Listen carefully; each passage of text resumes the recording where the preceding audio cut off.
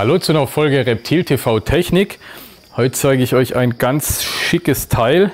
Ähm, hier in der, in der Box hier ist kein, kein neues iPhone, sondern so ein hübsches Gerät. Ähm, das Ganze ist ein, ein Ultraschallkopf, ein, ein Scanner, äh, wo ich ähm, verwenden kann, um Reptilien ultra zu schallen. Ne? Man nimmt ja viel äh, einerseits in der Zucht. Ich will wissen, habe ich Follikel, habe ich Eier in dem Tier. Man kann es für die Geschlechtsbestimmung verwenden. Äh, gucken, wenn ich ein Tier habe, wo ich mir nicht ganz sicher bin, zum Beispiel äh, Blauzungenskinke, Tannenzapfenechsen, so Tiere, wo sich fast nicht sondieren oder fast nicht geschlechtsbestimmen lassen, äh, kann ich nach beim Weibchen zum Beispiel nach Follikel suchen. Gila-Echsen, gutes Beispiel. Ähm, kann ich per Ultraschall schauen, sind Eier drin, ist natürlich ein Weibchen. Oder sind Follikel drin, ist ein Weibchen, ist nichts drin, ist kein Weibchen, beziehungsweise ich kann auch versuchen, die Penisse irgendwo zu finden. Äh, dazu sind so Ultraschallgeräte optimal. Früher hat man ja die, oder früher, auch jetzt noch, hat man die großen Kisten mit Bildschirm und so weiter dran. Jetzt gibt's äh, dieses äh, Sonoptech-Gerät, ähm, wirklich ein cooles Teil, da habe ich nur den Schallkopf. Äh, ich brauche dazu ein Tablet-PC, ähm, bevorzugt äh, die, die Apple-Geräte, ohne jetzt hier Werbung machen zu wollen. Der Hersteller empfiehlt die Apple-Geräte, weil sie einfach von der Bildschirmauflösung optimal sind. Und ich brauche natürlich ein gutes Bild hier an dem Gerät. Ne? Das Ganze ist denkbar einfach. Ich äh, fange hier an. Ähm, ich gehe in App Store rein, auf Suche. Ich brauche das Programm, das heißt Wireless, Wireless U S, Wireless AS.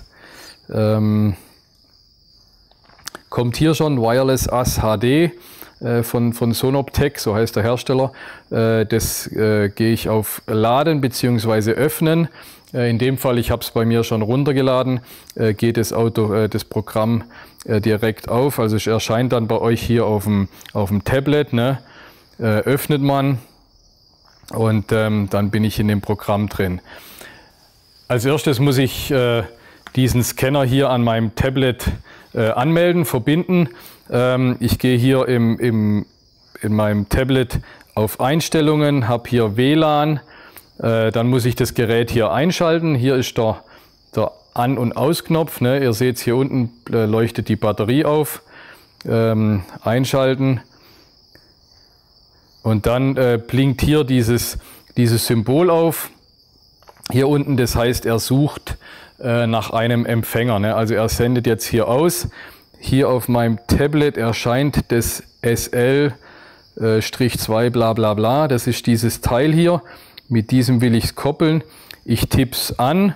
Dann fragt er mich hier nach Passwort. Ähm, das Passwort steht hier hinten auf dem, auf dem Scanner drauf. Äh, ist so ein Schlüssel äh, mit Buchstaben, Zahlen, Punkten, alles Mögliche. Ähm, also SN Doppelpunkt, ne? nach dem Doppelpunkt geht's los.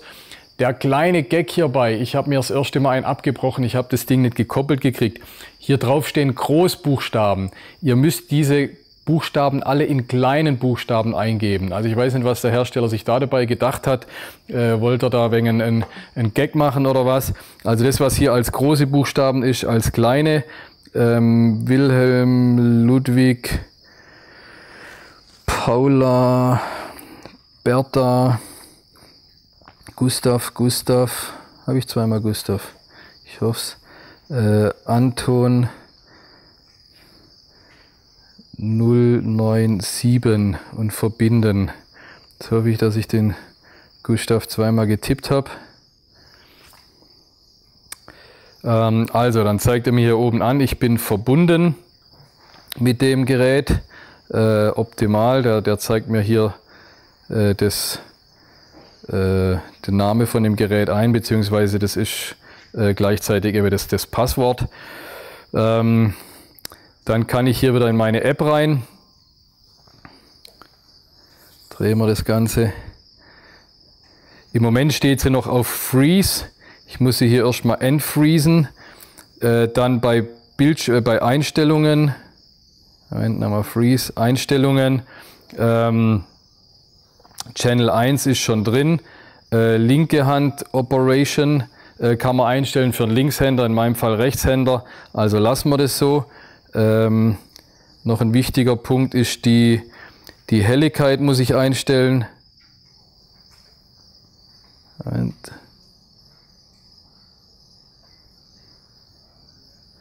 ähm, also ihr müsst deutlich heller stellen. Ne? Hier rechts ist der, der Einstellpunkt für die Helligkeit.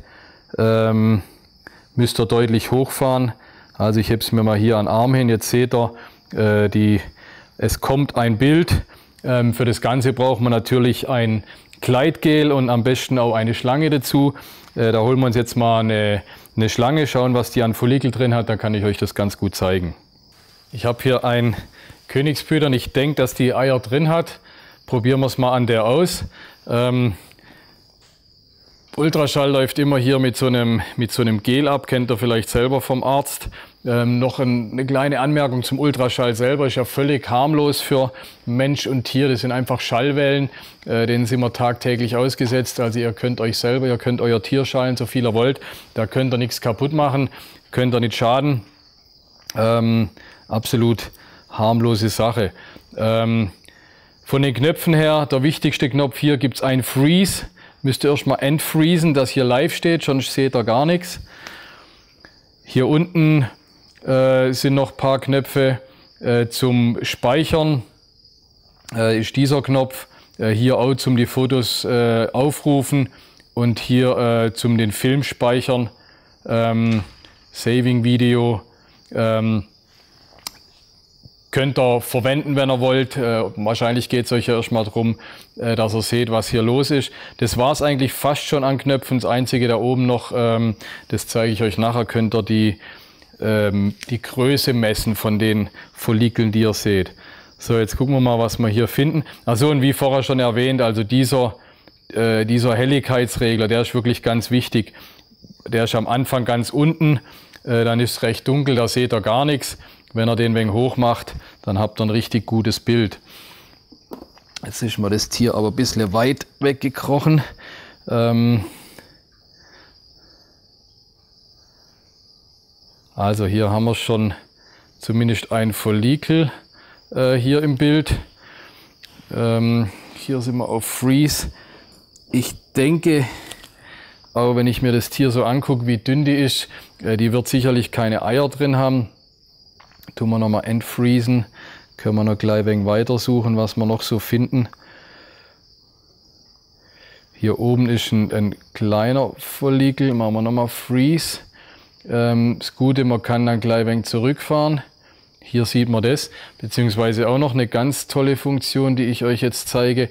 Ähm, dieser An- und Ausknopf, der ist auch gleichzeitig der Freeze-Knopf. Ne? Also wenn ich hier am Schallen bin, und sehe was, was mir gefällt, zum Beispiel hier diese äh, kleinen Follikel, drücke ich hier auf, auf den Knopf, freest er sich ein, ich kann gleich ein wenig zurückfahren und sehe hier so ein, ein Mini-Follikel. Ne? Ähm, das Ganze noch hier an der Seite ist eine Skala, das ist immer, also ein Teilstrich ist immer äh, 5 mm wenn ich jetzt hier vergleiche, kann ich jetzt Pi mal Daumen vergleichen. Dieses Follikel hat circa 5 mm. Also das äh, sind so Follikel, die immer in einem Weibchen vorhanden sind, ähm, was mit Zucht und Paarung noch nichts zu tun hat. Beziehungsweise ich kann es hier, wenn ich es ganz genau wissen will, äh, kann ich es auch messen. Hier die, die Länge tippe ich an, close, ähm, setze meinen Punkt. Moment nochmal. Äh, Länge, okay äh, setze hier einen Punkt, setze hier einen zweiten Punkt und habe hier äh, 6,7 mm steht jetzt hier zum Beispiel.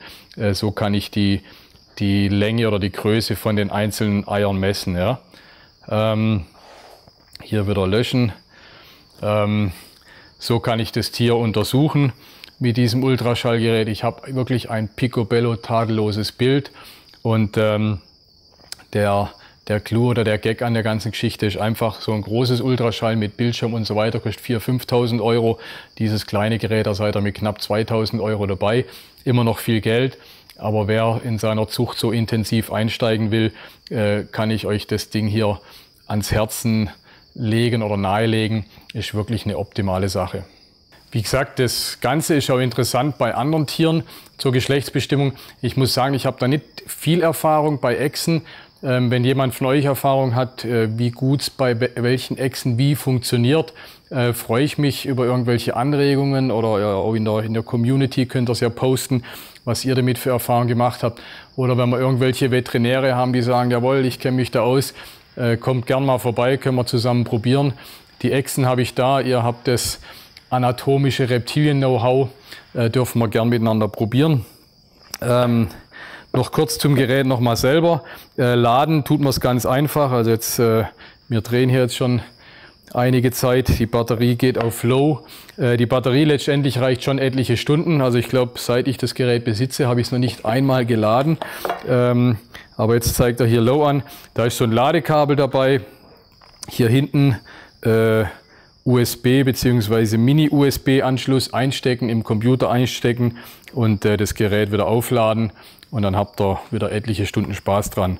Zum Ausschalten den Knopf hier lange drücken, dann blinkt es da unten und ähm, Batterie verschwindet, das Gerät ist aus.